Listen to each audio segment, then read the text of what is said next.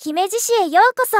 姫路へ来たなら観光を楽しみたい。でもせっかくの観光に大きな荷物は邪魔で残念ですよね。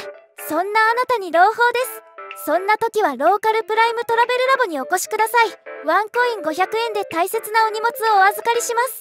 営業時間は午前9時から午後6時までで定休日は不定休です。身軽に姫路観光を楽しむならトラベルラボで愉快なスタッフが待っています。JR 姫路駅北口から徒歩2分キュール姫路の2階へお越しください。それでは姫路駅前でお待ちしております。姫路観光を楽しんで。